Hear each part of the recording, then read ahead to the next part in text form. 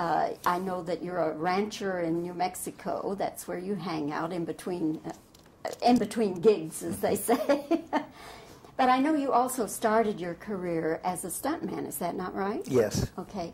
Now, when you look at the stuntmen today and the things they have to do, Richard, how does that compare with the things that you did when you were a young stuntman? Well, I never did anything as wild as these kids are doing. My son's a stuntman, and he blows those cars up. And I just did horse work. They were regular routine stunts, but they're they're really coming up with some fantastic stunts now. I can't hardly look at them, much less try to do them. But uh, it's really changed that way. And the techniques and the special effects are ten times better than they were when I was doing them. Do you think the stunt people are at more risk today than in your day? Uh, I really don't because although it looks really wild, they get a chance to rig it and they're pretty well. We'd, we'd hit the ground so much, and one thing has to happen. If you leave a horse or wagon, you have to hit the ground. That's inevitable.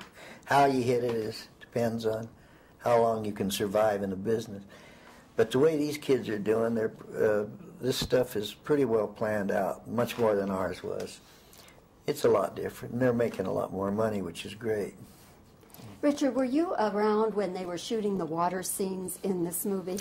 I, I never was involved in those. I uh, I'd stay in town because I, I didn't have anything to do. But I saw the picture last night. What did you think about that? Oh, it's incredible. The waterfall and the fast current. And the, I thought it was great.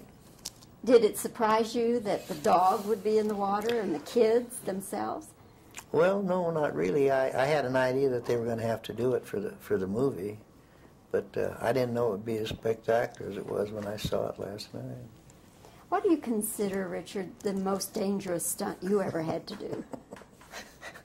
well, rather than be repetition, just trying to get paid for it. of course, that's a joke, but I think working on on trains with horses I've come awful close to getting going under a train, which is the end, you know. I think so, but I've been real lucky. I've uh, been skinned up a little bit. No broken bones? No, not really. Really? Just pulled tendon. Sometimes that's worse than a, a break. It's I've had things that took me quite a while to come out of it. No, I was very fortunate. Well, you look great. Thank you. and congratulations to all of you on the success of uh, Lassie. I hope Thank it does you. well. And uh, I look forward to seeing both of you again sometime. Maybe a sequel for Lassie, okay?